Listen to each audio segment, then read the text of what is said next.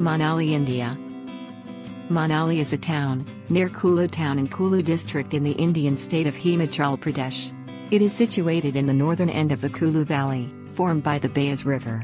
The town is located in the Kulu district, approximately 270 kilometers north of the state capital of Shimla and 544 kilometers northeast of the national capital of New Delhi. With a population of 8,096 people recorded in the 2011 Indian census, Manali is the beginning of an ancient trade route through Lahaul and Ladakh, over the Karakoram Pass and on to Yarkand and Hotan in the Tarim Basin of China. Manali is a popular tourist destination in India and serves as the gateway to the Lahaul and Spiti district as well as the city of Leh and Ladakh. Weather of Manali Manali features a subtropical highland climate with warm summers, relatively cold winters, and a high diurnal temperature variation.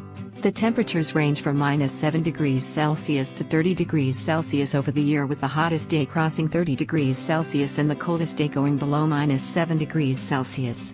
The average temperature during summer is between 10 degrees Celsius to 30 degrees Celsius, and between minus 7 degrees Celsius to 15 degrees Celsius in the winter. Road of Manali. Manali can be reached from Delhi by National Highway NH1 up to Ambala and from there NH22 to Chandigarh and from there by National Highway NH21 that passes through Bilaspur, Sundarnagar, Mandi and Kulu towns. The road distance from Chandigarh to Manali is 310 kilometers, and the total distance from Delhi to Manali is 570 kilometers.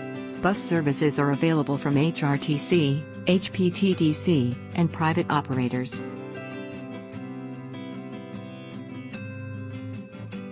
There is no close railhead available close to Manali. The nearest broad gauge railheads are at Una 250 km away, Kiratpur Sahib 268 km, Kalka, Chandigarh, and Pathankot. The nearest narrow gauge railhead is at Jogindernagar. The Kalka Shimla Railway is a nostalgic narrow gauge route culminating at the state capital of Shimla where from one has to travel by road to Manali.